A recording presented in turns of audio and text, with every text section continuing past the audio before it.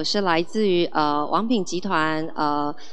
快时尚事业群的易三，那很高兴今天也有这个机会跟大家介绍我们在去年参与那个品牌要飞计划当中的一个案子。那今天在这个呃跟各位镜头前面的所有的呃贤达以及朋友们分享，大概分为两个主轴。呃，这个品牌过去在走的这十二年，然后我们走过什么路，以及为什么会想要参加这一次的药飞计划，呃，简单跟大家做个介绍。OK，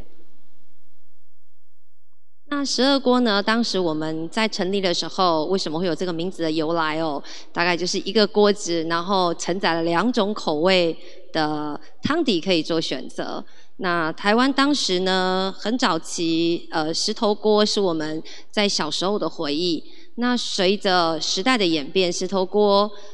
反而在坊间变得比较少见，大概都以日式刷刷锅出现为主。所以，呃，我们当时在成立的时候，就用一个锅里面有两种口味，所以命名为十二锅。那接下来跟各位呃介绍一下，十二锅成立是在二零零九年，那当时是在呃王品集团第一个。平价的火锅，当时是用一百九十八均一价的套餐，那呃没有收服务费，对王品集团来说好像也是有史以来第一次哦。所以在做这个品牌，有非常多一路走过来，也看到冲击了过去我们所有的呃在经营上面的惯性，以及我们在呃营运上面所有的突破。那在二零零九年成立之后呢，我们一路在观察顾客的需求。那诚如刚刚呃呃我们在那个副主任这边有跟我们介绍了，其实品牌在经营的时候也要观察消费者在现场所需要的是什么，以及他潜在的需求。我们在二零一三年的时候看到，当时一直在门口让客人等待呃。为了要吃一锅，然后在现场排队，于是我们就做起了一个后位系统，那方便让客人不用到现场，也可以借由手机 APP 来抽单。那除了二零一三年我们做了这件事以外，也发现其实饮食不过不只是透过满足生理需求，更希望消费者在吃的时候能够感受到台湾这块土地呃的美好。从我们呃耕作的路上开始。从产地到餐桌一路送来的食材，怎么样让大家吃得安心？所以在二零一五年呢，我们也举办了食农教育，带消费者到现场一同体验食材的来源。到了二零一六年，我们也开始做了，哎，在任何节气的时候，如何让消费者跟了我们一起？当时十二锅在成立的时候是以个人的小火锅为主，顾名思义，也就是一个人用餐是非常方便。各位通常在这个忙碌的世代，也是属于离乡的游子居多。那很多人就是在离开家乡到不同的城市打拼的同时，在特殊的季节，总是会想起家乡，想起妈妈，想起家里可以吃的东西。所以，既然是做个人的火锅，我们也带了消费者一起，跟我们在这个节气里面吃火锅，也可以吃到心坎里，跟着季节以及呃节气一起吃火锅。到了二零一八年呢，我们也开始发现，其实饮食开始有人开始有所谓的分水岭，在吃东西的时候，有人喜欢爱吃肉，有的人也喜欢吃菜，所以于是我们也推出了两个不同呃套餐的设计。那再来，在二零二一一九年到二零二二年呢，我们也发现品牌走到了将近十年，应该让自己有一个不一样的呈现。那所以在品牌的部分，我们也让旗舰店重新。呃，在呃消费者的眼呃，在消费者的消费体验当中，呈现十二国不同的心意。直到在二零二一年，我们也开始看产品的商品，就是我们也开始呃贩售我们在现场所卖的一些零售产品。那这十二年来呢，十二锅自律提供顾客好安心、好刷取，总是新鲜的用呃用餐体验，希望成为客人家中的第二个安心厨房。那其实，在这一路以来，我们一直在看说，每一个节点我们都看到很用心，但是似乎少了一个制高点。怎么来看品牌如何走下去？尤其是在现在是一个供过于求的年代，那什么是品牌呢？也刚好借由这一次的机会，我们也想说，哎，怎么去认识自己？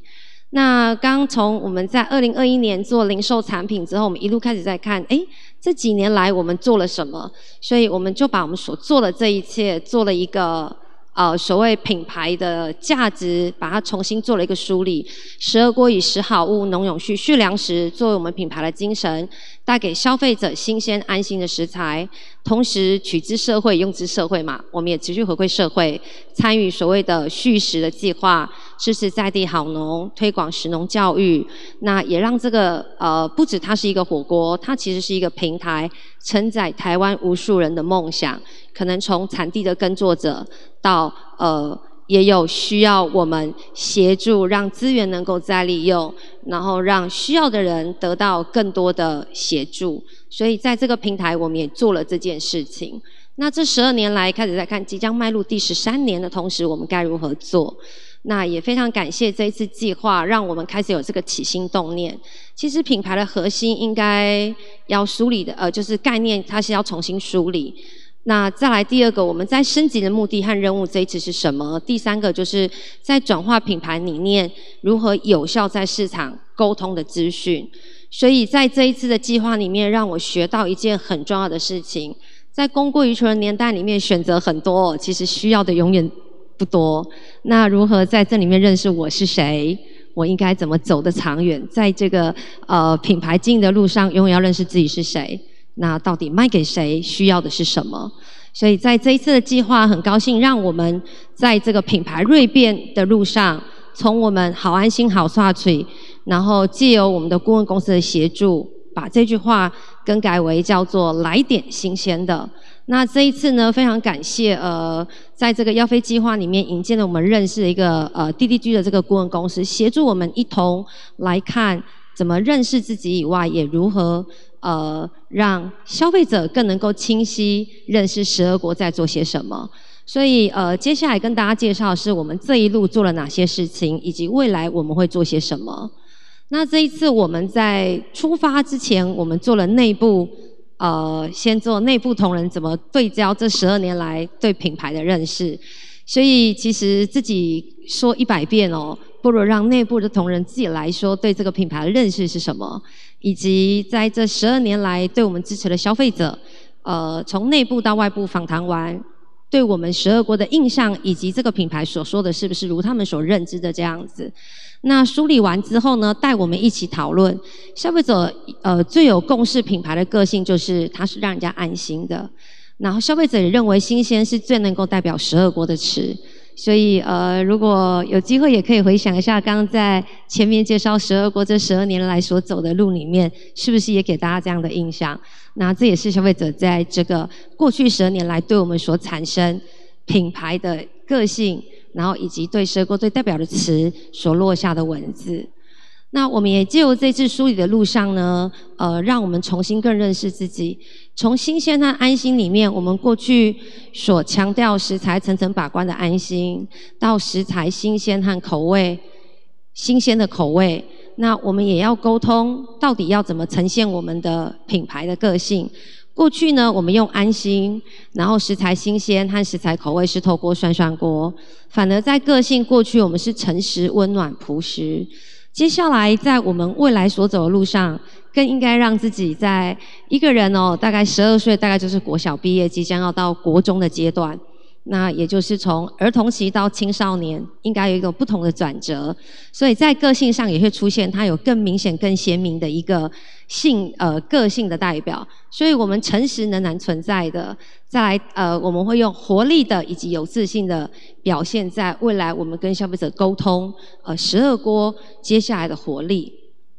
同时我们以新鲜驱动品牌的概念核心概念那。一样让大家觉得，哎，品尝新鲜是一件简单的事情，因为其实新鲜无所不在哦。那如何让这个新鲜呢，能够概念能够落地？所以有三个题，有三个能够让概念呈现的地方。一个就是秉持过去新鲜的食材，第二个新风味的汤底，第三个才会来自新鲜的体验。待会也会跟大家介绍新鲜的体验来自于什么。那我们在品牌个性，诚如过去呃十二年像儿童的时候比较朴实、比较温暖。那在往青少年的路上呢，我们开始认识过去自己十二年打的底之后，一路更坚信自己的初衷是什么，开始有自信、有活力的呈现，跟所有的消费者以及我们内部的伙伴们沟通，过去我们所做的路重新再次梳理。那这个初衷仍然不变，只是我们要更有活力的跟消费者介绍这是一个什么样的品牌。所以我们在品牌首先在识别度，我稍微做个修正。也许在这个呃两个 logo 上面，之前一样石头锅、十二锅、石头锅点酸酸锅。那未来因为在这个品牌呢，我们让颜色呈现的更鲜明，那字体稍微做个修正，以及我们在我们辅助图形里面，其实过去的色带是绿色跟红色，接下来我们也会用棋盘格呃棋盘格的纹。呃，图文呈现在我们的门店，这也是我们在内部里面非常喜欢的一张照片哦。呃，一一个图呃图文，呃，主要是说，其实火锅其实它讲究的是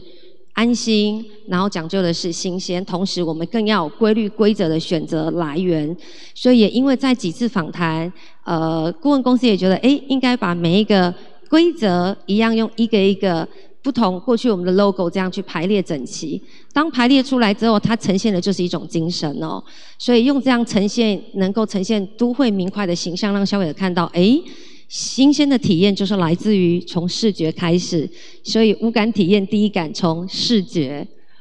那接下来我们也会增加我们的色彩的运用，从过去我们运用用食材的联想到。让我们从主色系，然后到辅助色系，重新做个重新对焦，让这个品牌的精神能够展现活力和新鲜。那视觉的呃联想，能够从各式各样的呃蔬菜的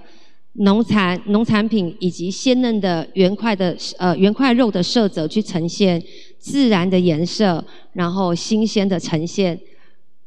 那我们在呃整个内部的品牌标语，也就是我们的 slogan。从过去的好安心、好刷取到来点新鲜的，其实这个来点新鲜的，也就是来自于传递十二国的活力、自信和亲切的个性。那因为在日复一日的生活当中，如何让每天自己充满活力哦？每天起来告诉自己，哎，来点新鲜的，激活自己每一天。这也是我们接下来要跟所谓每一个同仁以及每一个消费者，其实生活不孤单，只要。我们用意要愿意用心，好好的感受，呃，就是每天的美好。其实来点新鲜的，也是一种生活当中让自己不会一成不变。同时，也带我们开始看，呃，在每一次呈现的视觉里面，我们的拍摄选择，过去呃，我们也会参考很多业界呈现的做法。当在供过于求年代，选择太多，真的往往走。走了路越远，忘了自己是谁哦。所以经由呃这一次的要飞计划，让我们重新梳理，其实呃真正呈现就是精美的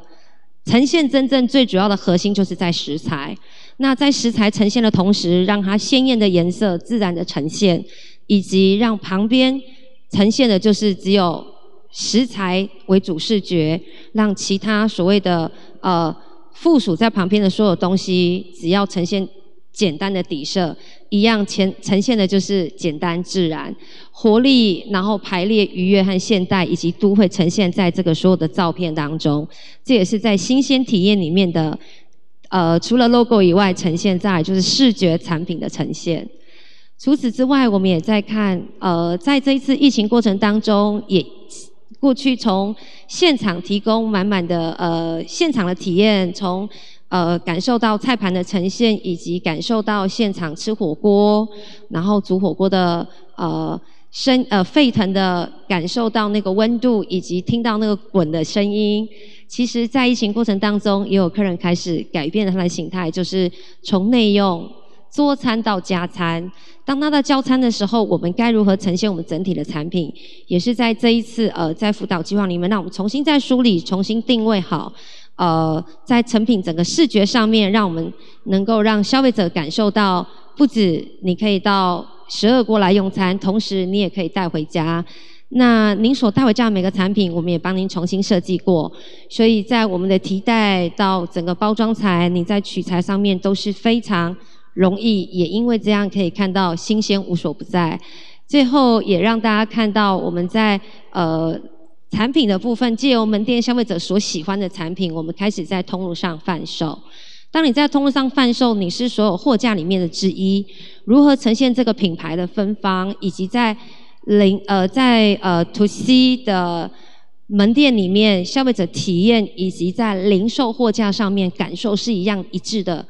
呈现的情况下，我们更应该梳理到极简，然后让大家认识品牌要呈现的是什么，一样维持刚刚的精神，所走的路就是呈现一致性，也就是最好品牌的展现。所以，呃，也跟大家分享，这是我们在这个去年参加耀飞计划里面品牌锐变之路，带我们重新诊断过后梳理，让自己知道自己的初衷为何，然后如何简单坚信的这个信念，也用来点新鲜的激活每一天。那也呃祝福大家，我们每一天都可以来点新鲜的，谢谢。